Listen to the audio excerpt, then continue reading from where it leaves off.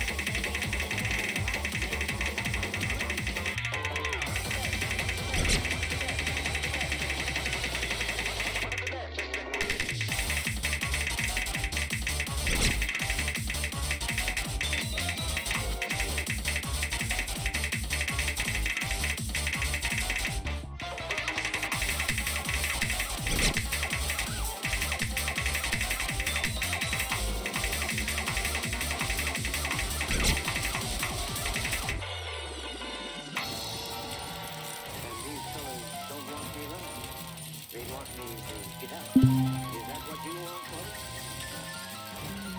I'll go. Right now.